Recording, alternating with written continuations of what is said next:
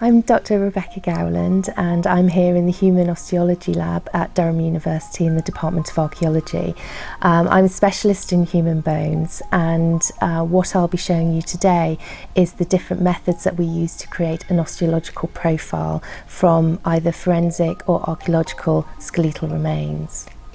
During the course of this series, we'll be looking at how to determine sex from skeletal remains, how to estimate age at death from infant and juvenile remains as well as adult skeletal remains, how to estimate stature and we'll also be taking a look at some of the pathological lesions that we can see on skeletal remains and how to diagnose and record different pathologies. I'm here in the Human Osteology Lab in the Archaeology Department and this is where we teach um, human skeletal remains to our master's students and our undergraduate students, mostly because they're trying to find out about the way in which people lived in the past, but that techniques that we teach are just as applicable to the forensic context. So here at Durham we've also trained the police, crime scene investigators, we've trained people from a number of international agencies who are seeking to identify individuals from mass graves from their skeletal remains so that they can return those bodies to their loved ones.